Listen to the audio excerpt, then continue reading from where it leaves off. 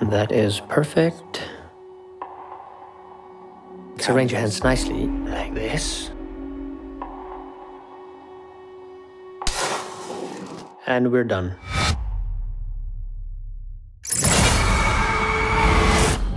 We have that too.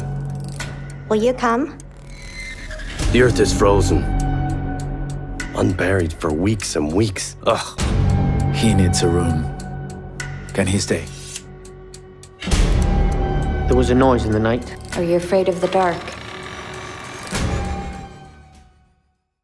Hi guys and welcome back to Geek Legion of Doom. I'm Lisa from the Lisa Loves channel and I am here to talk to you today about a new Hungarian horror movie by the name of Post Mortem. So as I said, Postmortem is a Hungarian movie. It was directed by Peter Bergendy, who was also part of the writing team for this movie. I have the other names written down. Uh, Piros Zánkay and Gabor Hellebrandt. And massive apologies if I'm mispronouncing those names.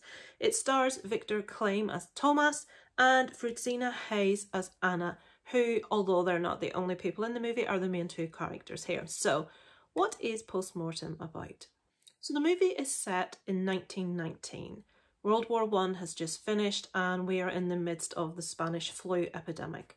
So our main character, Thomas, is actually just out of serving in World War One. He was really badly injured and um, as he was lying dying, he had a vision of a young girl. Um, he doesn't actually die, he is actually taken out, he's saved, and he concentrates um, the next period of his life to photography. He works with an older gentleman, and they work on like a travelling carnival type thing, and they specialise in something that I've always found really creepy, which is post-mortem photography. If you're not aware of what that is, um, back in the day when people, it wasn't a normal thing to have a family portrait done. It was very expensive. Um, people died very young. As I said, we had the war, then we've had the Spanish flu, and loads of people are dying, children, babies. And what families used to do is to try and have a moment, a still snapshot in time, they would go to a photographer and pay to have a photograph taken. And in a lot of cases, people within this photograph were actually deceased. There were all manners of ways that the photographers did this. Um, and this is very much displayed in the movie. It's something I've, I have an interest in. I'm a morbid individual. Um, I've always just found it really creepy. So I had read a lot about the techniques and how it's done. And this movie spot on. It has it exactly as they did it back in the day.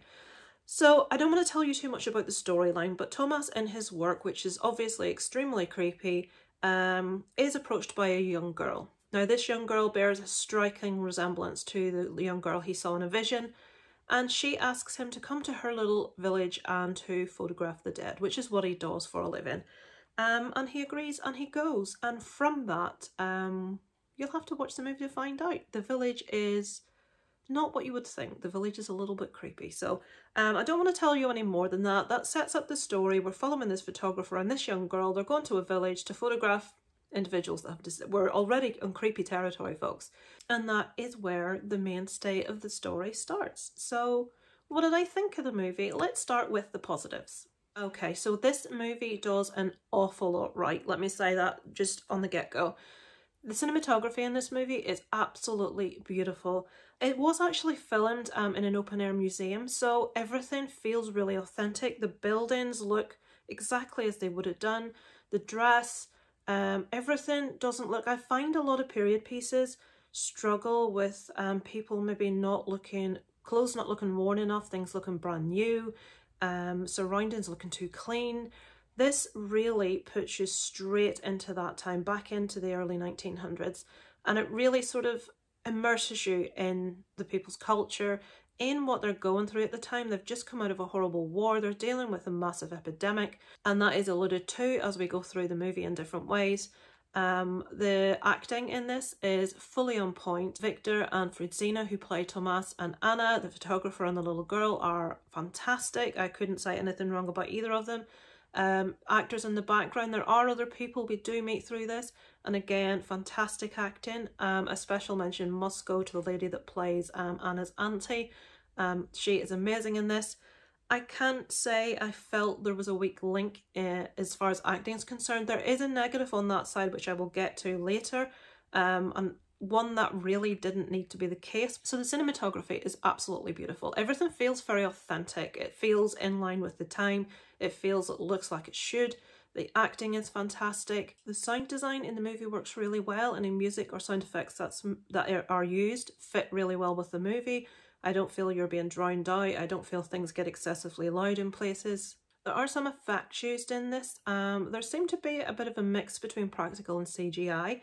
Um, the practical effects that were used were, I have to say, excellent, were really good. I was really immersed in the movie and the characters. I really cared about what was happening. It's a bit of a mystery. You're wondering, we're trying to get to the bottom of what exactly we're dealing with, of what's happening in the movie. That all worked really well. Um, and for the most part, I have to say I feel very positively about this movie. It had a real creepy atmosphere about it. Um, it did move quite slowly to start with, but I'm a fan of that. I like a building movie. I like to get to know background behind things. And the last half hour of this movie is just completely batshit. It's, it's just things kick off on all degrees. You've got effects everywhere. You've got madness everywhere. You've just got a massive big build. This this end is just incredible, I have to say. Everything's happening all at once. You're just getting so much thrown at you and it's like, oh my goodness. Um, so yeah, on the most part, I have to say I feel very positively about the movie, how the budget was used, sound design, acting, cinematography. Um, but we do have to get to a couple of small negatives. So what did I feel perhaps didn't work in the movie? Now there are two main things and one of them was a big thing for me. This movie is dubbed. Now, I'm not sure how this is going to be um, finally released. Um, it's due for release on the 31st of October on streaming services. This movie needs to be presented in its original Hungarian language. Um, the version I watched, as I said, was dubbed. We have voice actors, which um, I do not feel would have had any impact to the degree that the original language would have. So I'm really hoping when this is released, the screener that I saw um, is just sort of to give us an idea. I really hope and would urge them to use the original language and subtitle that as I feel it would have much more impact to hear the actual actors' voices. Um, I feel some of the voice acting in this, especially for some of the background characters, was a bit poor.